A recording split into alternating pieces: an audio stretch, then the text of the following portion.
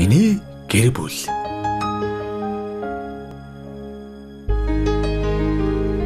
Та бүхэнд энэ өдрийн амар амгалан айлтхан хүндэтгэж өөрийн гэр бүл, аав ээж, ахын дүүсээ танилцуулахад таатай байна.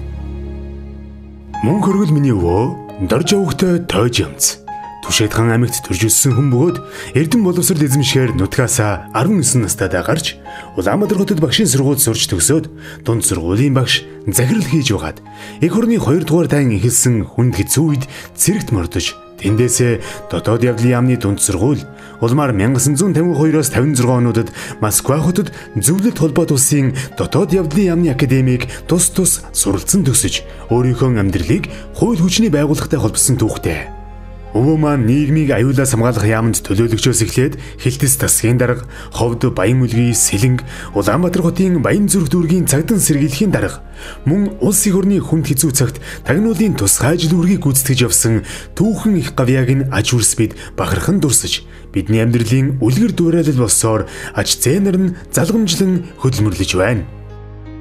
Өвөө маань миний хайртай эмээ Цэнт сүрэнтэй 1948 онд гэрлэн гал голомтоо бадрааж дундаасаа атгсан гар шиг таван хүүхэд төрүүлж өсгсөн сайхан буурлууд билээ.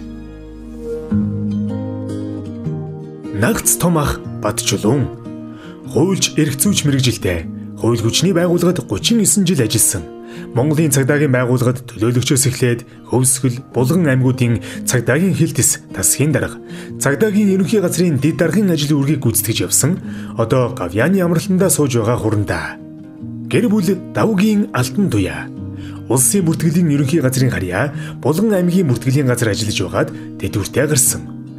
Игч маань манай гэр бүлийн хүндтэй хүн 40 гаруй жил ханилан суухдаа дөрвөн бэрхийн шагаа мэд дөрвөн сайхан хангар хүү төрүүлсэн манай алтан бэр юм аа.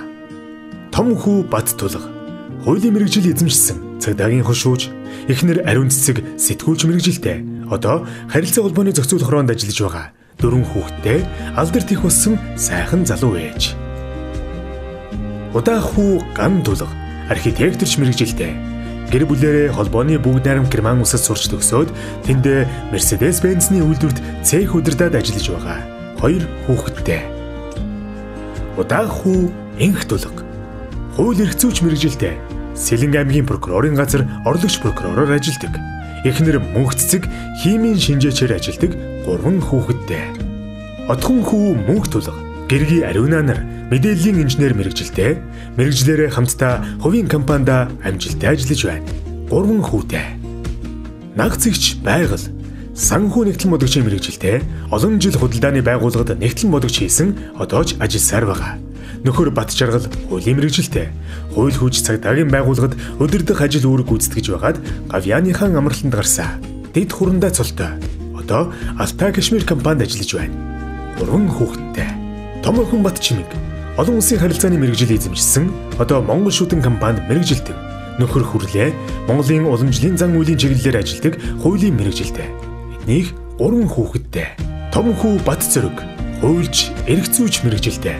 Одоо Баянгол дүүргийн цагдаагийн 2 дугаар хэсгийн мөрдөн тасгийн дараагаар ажиллаж байна. Гэр бүл ган туяа, хуульч мэрэгжилтэй. Нийслэлийн шийдвэр гүйцэтгэх албаны хан уул дүүргийн тасгийн дараагаар ажиллаж байна. Гурван хүүхэдтэй. Баг охин ган чимэг хууль эрх зүйч мэрэгжилээр төгссөн одоо нийслэлийн шийдвэр гүйцэтгэлийн албанд шийдвэр гүйцэтгэгч нөхөр Жулуунбаатар загвар зохион бүтээгч мэрэгжилтэй хуваарай ажилдаг.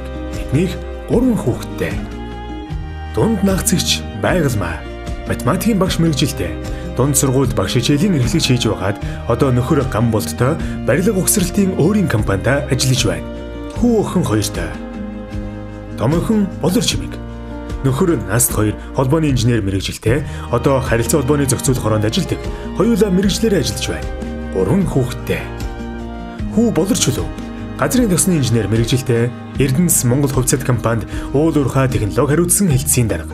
Эхнэр Солонго нэгтлэн бодогч мэрэгжилтэй. Петровис компанид нэгтлэн бодогчор ажилладаг. Хүү охин хоёртой. Миний ээж байгаль сүрэн Миний аав Зориго ээж байгаль сүрнээр гадаад хэлний дээд сургуулийг хамт төгссөн. Хоёулаа орос хэлний багш орчуулагч мөн эдийн засагч мэрэгчлэр төгссөн. Аав маань олон жил боловсролын байгууллагад багш өдөрдөх ажил хийсэн бөгөөд амьдралынхаа сүүлийн жилүүдэд Дархан хотын онцгой байдлын дагаар ажиллаж байгаад бурхны оронд очсон билээ.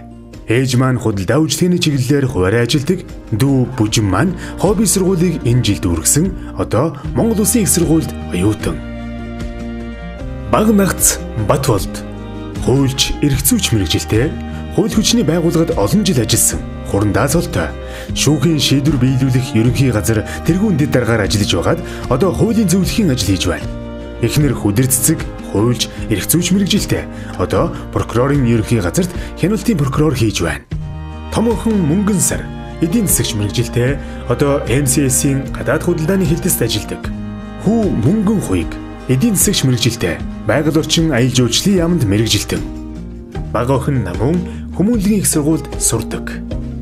Мөн бидний урилгыг хүндэтгэн хүлээн авч хүрэлцэн ирсэн аав ээжийн маань дотны хүмүүс хамаатан садангууд найз нөхөд, ангийн андууд хатан ухаан шүтгүй бизнес эрхлэгч эмэгтэйчүүдийн байгууллагын хүндэт гişүүд амгалан төр компани хамт олон та бүхэндээ эрүүлэнх сайн сайхан бүхний хүсэн өрөөж та бүхэнд талархлаа илэрхийлж байна.